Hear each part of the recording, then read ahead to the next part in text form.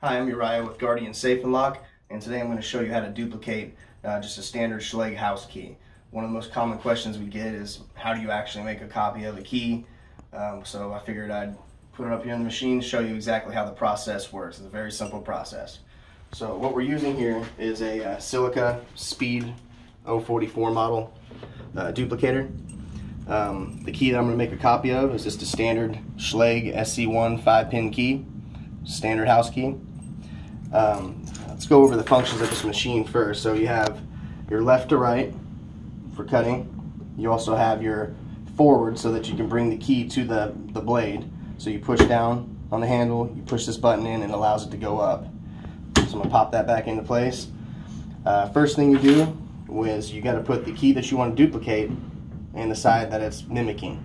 So you have these jaws here that tighten down with spinning the red handles here and then you have them where if you need to hold the key differently you can swap the jaws and spin them so that you can get different grips on the keys.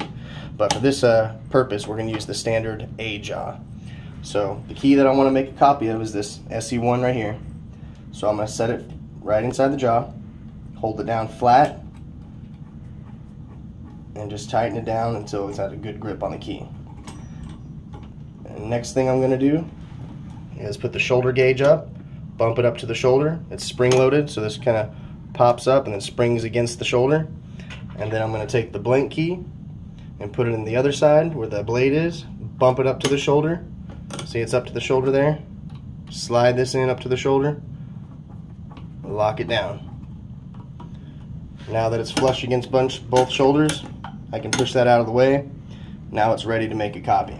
This piece here is going to go over the little crevices of the key and it's going to keep that at the same distance on the blade and copy this onto that blank. So first thing first, power on the machine.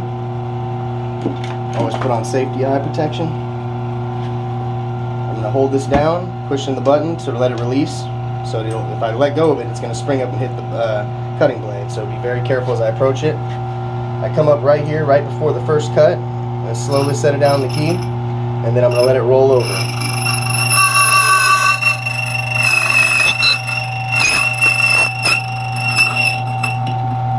Usually go over it just quick one time after that or two and then release the jaw on the side that I just made the copy of.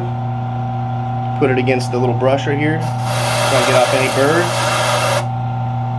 And then you should have a exact duplicate key of what you just cut so this machine here is used for pretty much duplicating all standard uh, automotive keys or or house keys or padlock keys or whatever it may be. This machine can duplicate pretty much every key except for a high, a high security key or a tubular key, which we have different machines for those too. There's a high security machine and a tubular key in the back.